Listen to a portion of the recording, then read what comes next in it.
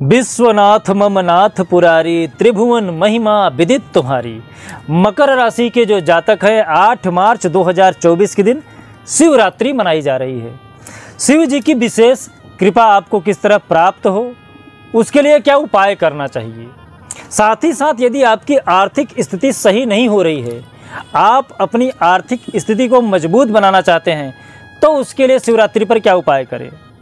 यदि आपके दाम्पत्य जीवन में, वैवाहिक जीवन में किसी भी तरीके का कोई अवरोध आ गया है, या आपकी लव लाइफ में कोई समस्या आ गई है, विवाह आपका विलंब हो रहा है लेट से हो रहा है, नहीं हो रहा है, बहुत सारी दिक्कतें वैवाहिक जीवन में आपके आ गई हैं तो उससे मुक्ति पाने के लिए क्या उपाय किया जाए?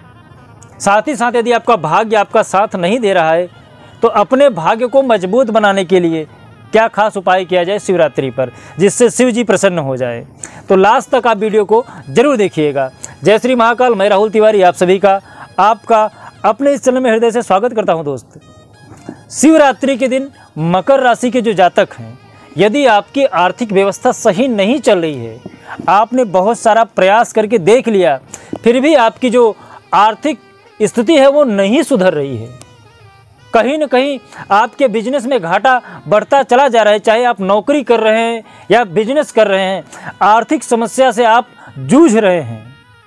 आप बहुत सारे टोटके करके देख लिए, बहुत सारे उपाय करके देख लिए, उसके बावजूद यदि आपकी जो समस्या है वो नहीं दूर हो रही है आर्थिक तो आप शिवरात्रि पर ये जो मैं उपाय बता रहा हूँ, इसको आप ज़रूर करिएगा। मात्र आपको ग्यारह बेल पत्र ले लेने हैं। हर बेलपत्र के ऊपर आपको हल्दी से रंग लेना है और उसके ऊपर सफ़ेद कलर से, सफ़ेद चंदन से आपको राम राम लिख लेना है। और उसके साथ थोड़ा सा आपको काला तिल ले लेना है और शिव जी को 11 बजे के बाद आपको समर्पित कर देना है। मकर राशि के जो जातक हैं, उनके लिए उपाय है। मात्र आप इतना कर देते हैं तो इससे आपके कुंडली में जो धन का क्षेत्र है, वो मज़बूत हो जाता है। और जो आर्थिक स्थिति से आप जूझ रहे हो, जो तकलीफ़ में आप हो, उससे आपको धीरे धीरे निजात मिलना प्रारंभ हो जाएगा। यदि आपके दाम्पत्य जीवन में, वैवाहिक जीवन में किसी भी तरीके का कोई समस्या आ गई है, आपकी जो लव लाइफ है, उसमें कोई समस्या आ गई है, आपकी जो फैमिली है, आपका जो परिवार है, वो आपके ऊपर भरोसा नहीं कर रहा है आपके और आपके पार्टनर के बीच में दिन प्रतिदिन दूरियाँ बढ़ती चली जा रही हैं, तलाक तक की नौबत आ गई है। यह आपका विवाह बार बार होते होते से रह जा रहा है। कार्ड छप जा रहे हैं, उसके बावजूद भी आपका विवाह कैंसिल हो जा रहा है। कहीं न कहीं यदि आप पुरुष हैं तो आपके कुंडली में शुक्र खराब जगह पे बैठे हुए हैं। यदि आप स्त्री हैं तो आपके कुंडली में गुरु महाराज गलत दृष्टि पे बैठे हुए हैं। तो जो पुरुष है, मैं उनके लिए बता रहा हूँ। यदि आप शुक्र को मज़बूत करना चाहते हैं, अपने दाम्पत्य जीवन में खुशहाली लाना चाहते हैं, विवाह में जो अवरोध है, उसे आप हटाना चाहते हैं तो शिवरात्रि पे शुक्र को आप ज़रूर मज़बूत करिएगा।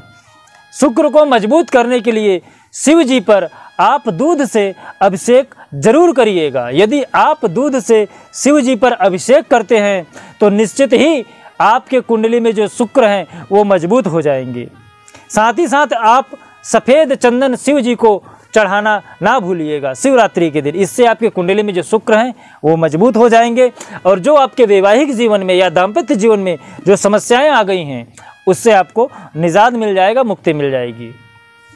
साथ ही साथ जो महिला हैं, मैं उनके लिए बता रहा हूँ कि यदि आप अपने कुंडली में बृहस्पति को मज़बूत करना चाहते हैं, जिससे आपकी जो समस्या है शादी को लेके यदि आप उससे निजात पाना चाहते हैं तो बृहस्पति को आप ज़रूर मज़बूत करिएगा। बृहस्पति को मज़बूत करने के लिए आप शिव जी पर पीला फूल या फिर हल्दी का पानी या केसर का पानी ज़रूर चढ़ाइएगा। साथ ही साथ आप उनको पीला टीका लगाना ना भूलिएगा। शिवरात्रि के दिन मात्र इतना करने से आपके कुंडली के जो गुरु हैं, जो बृहस्पति हैं, जुपिटर हैं, वो मज़बूत हो जाते हैं। आप इतना करिए, आपके कुंडली में जो बृहस्पति कमज़ोर हैं वो मज़बूत की स्थिति में आ जाएँगे और जो आपके वैवाहिक जीवन में जो विवाह को लेकर आपकी समस्या चल रही है, उससे आपको निजात मिल जाएगा।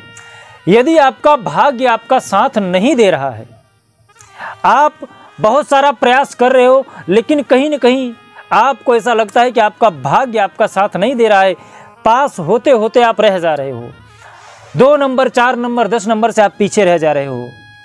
99 परसेंट आपका कार्य हो जा रहा है, एक परसेंट की वजह से आप पीछे हो जा रहे हो।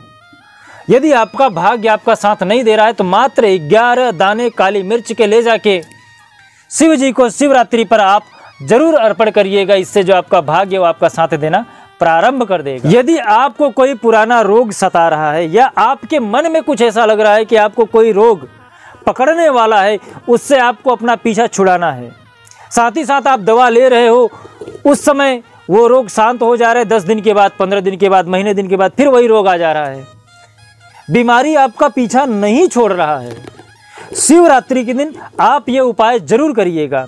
मात्र आपको मधु का लेप शिवरात्रि के दिन शिवलिंग पे करना है और थोड़ा सा आपको काला तिल शिव जी को चढ़ाना है। मात्र इतना करने से जो आपका रोग है, वो आपका पीछा निश्चित ही छोड़ देगा। यदि आपको ऐसा लग रहा है कि आपका ही कोई पाप आपको बार बार परेशान कर रहा है, वही पाप आपके सामने बार बार प्रकट हो जा रहा है, जिसका आपको बोध है। कहीं न कहीं आपसे गलती हो चुकी है और आप उसका पश्चाताप करना चाहते हो। बार बार आप उसकी अग्नि में अपने आप को जला रहे हो, फिर भी आप उस दुख से अपने आप को बाहर नहीं निकाल पा रहे हो। शिवरात्रि के दिन, यदि आपके मन में पश्चाताप का भावना है तो शिवरात्रि के दिन आप सवा किलो जौ और सवा किलो गेहूँ ले जाके शिव जी को अर्पित कर दीजिएगा। मात्र इतना करने से जो आपके मन में पाप का भाव है, वो कम हो जाएगा। पाप का ताप जो आपको सता रहा है, उससे आप मुक्त हो जाओगे। साथ ही साथ यदि आपको शिव जी की विशेष कृपा प्राप्त करनी है तो जो मैं ये उपाय बता रहा हूँ, इसको आप ज़रूर करिएगा। आपको मात्र 108 बेल पत्र ले लेने हैं और सबके ऊपर आपको हल्दी से राम राम लिख लेना है। और आप अपने लंबाई के बराबर काला, लाल और सफ़ेद धागा ले लेना है और उसको मोल्ड करके उसकी एक माला बना लेनी है जो 108 बेल पत्र है उसका जोड़ करके।